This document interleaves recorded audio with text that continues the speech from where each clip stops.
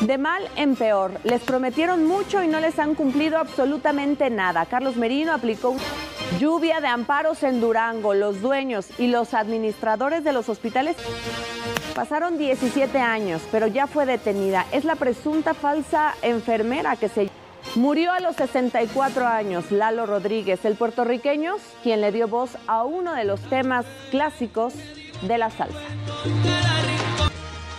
Es una tragedia monumental. Le hemos estado platicando del caso que parece ser solo la punta del iceberg. Mujeres como Aurelia viven todos los días en constante desventaja. Mujeres indígenas que no hablan español y rodeadas además de un entorno dominado por las costumbres. La cifra que le voy a dar es terrible, tremenda. Solo en Guerrero, 400 mujeres como Aurelia están en prisión por un delito que no cometieron. Ellas no merecen ese infierno. Por eso pedimos justicia para Aurelia. Y sí, el caso de Aurelia, Aurelia tiene inconsistencias por todos lados. Aquí en Hechos Meridiano los hemos expuesto ya durante, durante varias semanas. El proceso ha sido un verdadero calvario y en lo absurdo y en lo ridículo Incluso una jueza se ha atrevido a decir que Aurelia es un posible riesgo para la comunidad. Pregunta a la jueza, ¿qué de verdad qué riesgo puede representar Aurelia para la sociedad? Omisiones, injusticias, violaciones a los derechos humanos y las grandes preguntas que quedan también sobre el aire y que nadie ha contestado. ¿Y los responsables? ¿Y el violador?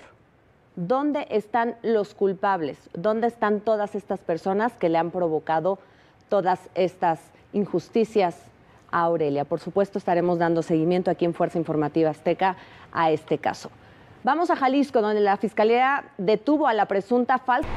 En Tabasco, los servicios de salud y de educación están en el abandono. El gobierno estatal aplicó un recorte de más de 1.600 millones de pesos a esos rubros.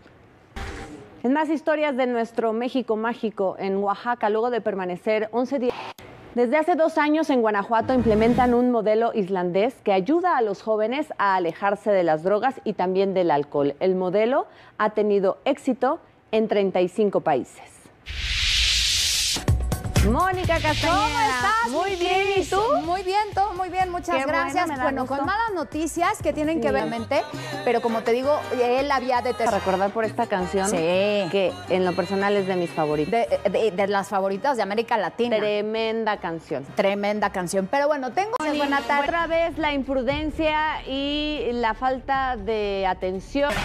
Autoridades de salud alertan sobre el riesgo de un posible brote de poliomielitis en nuestro país, una enfermedad que ya sabemos ataca principalmente a los niños y que también sabemos la solución, la vacunación temprana. El hospital Vicaba, uno de los cuatro hospitales privados clausurados por el brote. Por cierto, promovieron amparos en contra de las órdenes. Este sujeto era de los más buscados por el FBI y cayó en pabellón de Arteaga allá.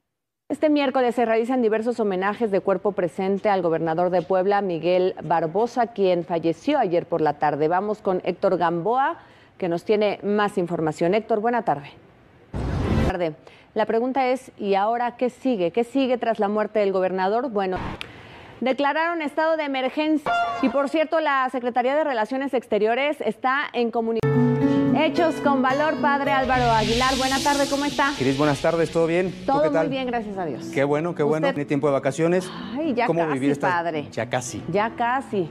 Pero ¿cómo vivir bien estas... Planear, planear con tiempo, aunque no siempre se puede y aunque no siempre hay tiempo para estar con todos, porque ya desde que empezamos la discusión de, y ahora con los tuyos o con los míos, esto se vuelve un caos. No se trata de eso.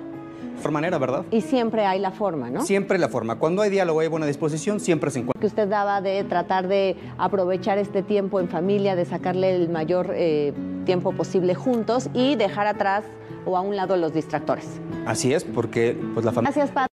Mucha atención porque se ha detectado una nueva forma de fraude en Guadalajara. Y precisamente allá en Jalisco están buscando a Jonathan Ismael. Con esta información nos despedimos. Gracias. Hasta aquí los hechos. Nos vemos mañana.